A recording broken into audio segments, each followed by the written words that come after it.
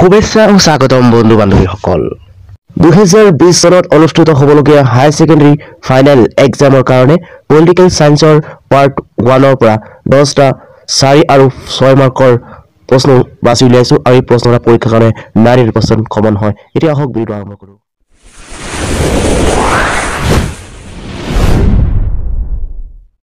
প্ৰথম প্ৰশ্নটো হ'ল গোষ্ঠী নিৰপেক্ষ আন্দোলনৰ চাৰিগৰাকী নিৰ্মাতাৰ নাম উল্লেখ কৰা।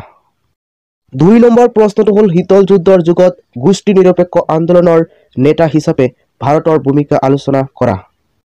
তিনি নম্বৰ প্ৰশ্নটো হ'ল নিৰাপত্তা পৰিষদৰ স্থায়ী সদস্য হিচাপে ভাৰতৰ অন্তৰ্ভুক্তিৰ যুক্তিযুক্ততা প্ৰদৰ্শন কৰা।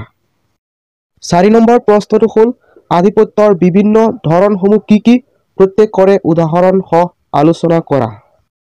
পাঁচ নম্বৰ প্ৰশ্নটো হ'ল ছোভিয়েট ইউনিয়ন কিয় বংগ হৈছিল? তিনিটা কাৰণ আলোচনা কৰা। ছয় নম্বৰ প্ৰশ্নটো হ'ল ভাৰত আমেৰিকা যুক্তৰাষ্ট্ৰ সম্পৰ্কৰ ওপৰত এটা চমু থকা লিখা।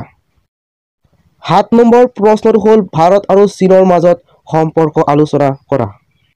আঠ নম্বৰ প্ৰশ্নটো হ'ল চাফ্টা কি উদ্দেশ্যেৰে গঠিত হৈছে? চাফ্টাৰ ধাৰণাটো পৰীক্ষা কৰা।